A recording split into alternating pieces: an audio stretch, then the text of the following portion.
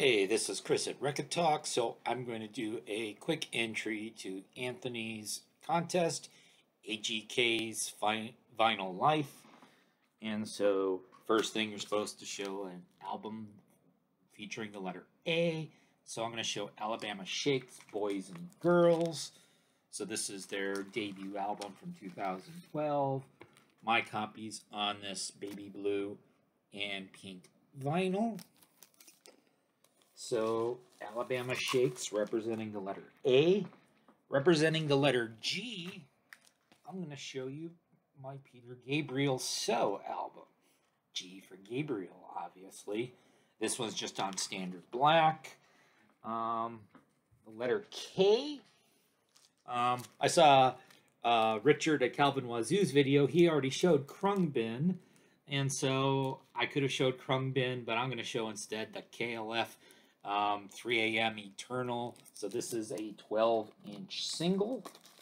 Um, the KLF representing the letter K, representing the apostrophe and the S.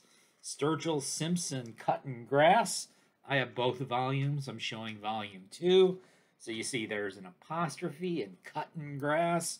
Sturgill Simpson has the letter S in both his first and last names. So that's representing the apostrophe S.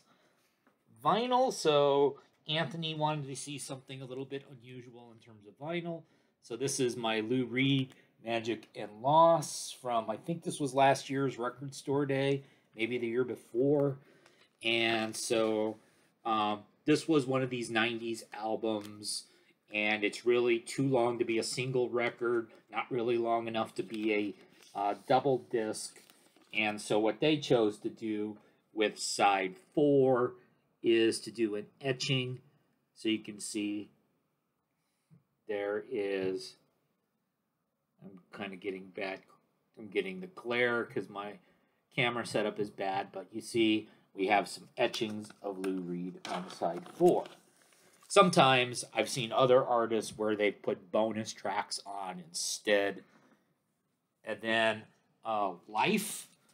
How about Lifers? So this is Local H's latest record called Lifers. It's on this pretty cool red and black vinyl. And so Lifers, because AGK is a vinyl lifer.